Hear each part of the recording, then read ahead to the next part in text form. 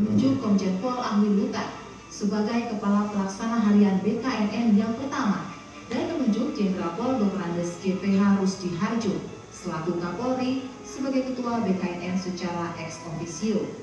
Namun di awal perjalanannya, BKNN belum memiliki fasilitas sama sekali.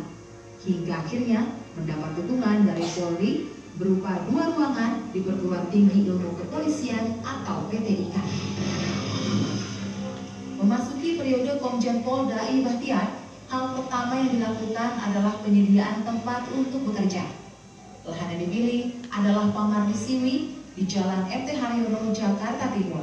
Komplek Pamardi Siwi yang merupakan fasilitas rehabilitasi disulap menjadi kantor BKNN yang diresmikan oleh Presiden Megawati Soekarno Putri pada tahun 2000.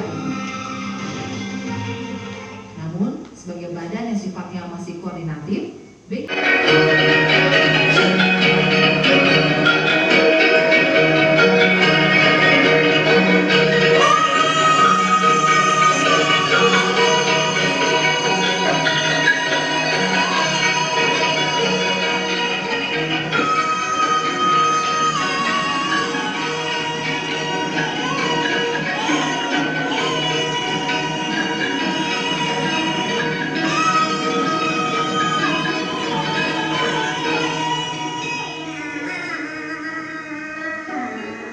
menunjuk Komjen Pol Ahwi Lutar sebagai Kepala Pelaksana Harian BKNN yang pertama dan menunjuk Jenderal Pol Dr. GPH Rusdi Harjo selaku Kapolri sebagai Ketua BKNN secara ex officio.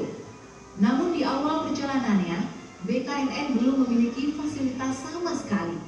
Hingga akhirnya mendapat dukungan dari Polri berupa dua ruangan di Perguruan Tinggi Ilmu Kepolisian atau PTIK. Memasuki periode Komjen Pol Dai Bahtiar, hal pertama yang dilakukan adalah penyediaan tempat untuk bekerja. Lahan yang dipilih adalah Pamardi Siwi di Jalan MT Haryono, Jakarta Timur. Komplek Pamardi Siwi yang merupakan fasilitas rehabilitasi disulap menjadi kantor BKNN yang diresmikan oleh Presiden Megawati Soekarno Putri pada tahun 2000. Namun, sebagai badan yang sifatnya masih koordinatif,